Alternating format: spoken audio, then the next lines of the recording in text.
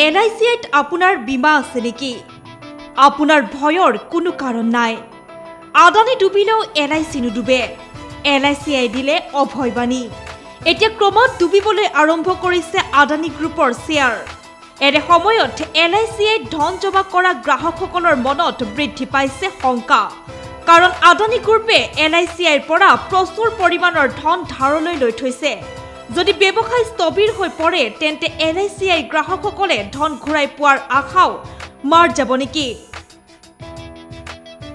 এনে প্ৰশ্নৰ মাজতেই এতিয়া প্ৰকাশ পাইছে এল আই চি আইৰ এখন বিবৃতি।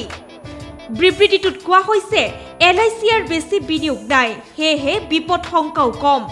ভাৰতীয় বীমা নিগমে আজি জাৰি কৰা এই বিবৃতিটো ভালদৰে মন কৰক।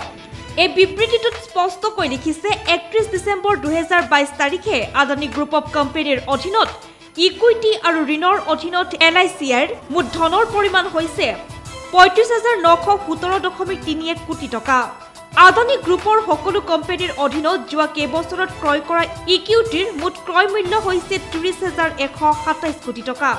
ত্ৰিছ ছেপ্টেম্বৰ দুহেজাৰ বাইছ তাৰিখলৈ এন আই চি আইৰ মুঠ সম্পত্তি আছিল একচল্লিছ দশমিক ছয় ছয় লাখ কোটি টকাৰো অধিক। এই অংক অনুসৰি আদানী গ্ৰুপৰ সৈতে লেনদেন হৈছে মুঠ এ ইউ এমৰ শূন্য দশমিক ন সাত পাঁচ শতাংশহে।